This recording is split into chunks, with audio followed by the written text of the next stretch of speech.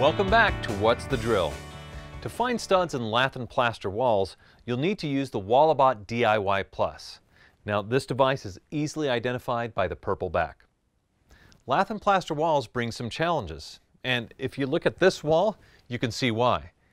Lath and plaster differs from drywall in two main ways. First, the studs may be either placed on edge, like in regular drywall, or flat, like you see here.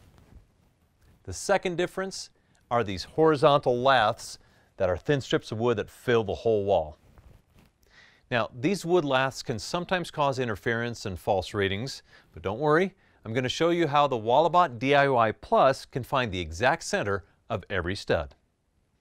Of course, always begin by connecting, like so, and calibrating the Walabot device. Go through the prompts, there we go, it's connected.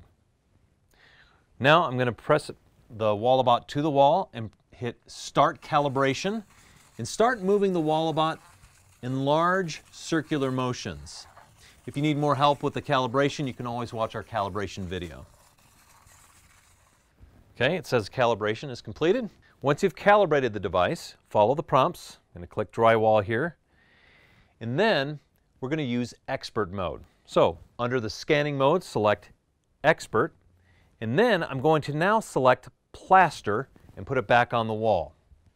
In this mode, you'll see that strong red image when it detects an object. Now I'll show you how to identify objects like studs and pipes behind lath and plaster walls. With the Walabot DIY Plus firmly against the wall, move it smoothly from left to right. Yep, there it is. Okay, now move it back to the left and you can see it again.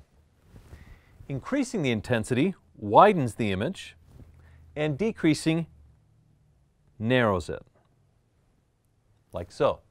Sometimes it makes it disappear altogether.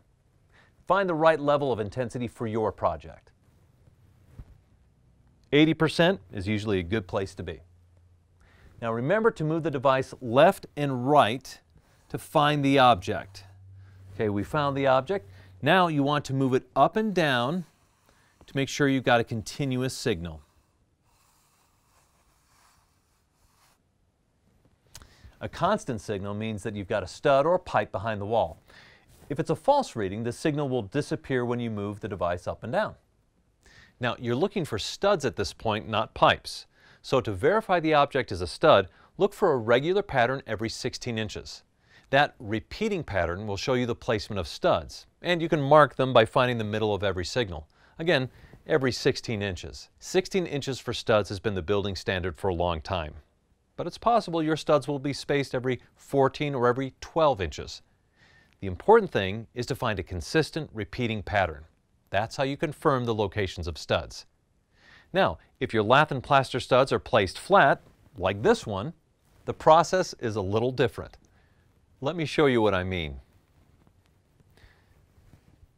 Now, when you move the Walabot over a flat stud, you'll see a strong red image on the left edge of the stud. And again, on the right edge. Now, once you've found the edges, move the Walabot back to the center and then mark that as the center of your stud. and that's it. Now you can hammer or drill with confidence. For detailed information on other modes, watch the rest of the videos on What's the Drill.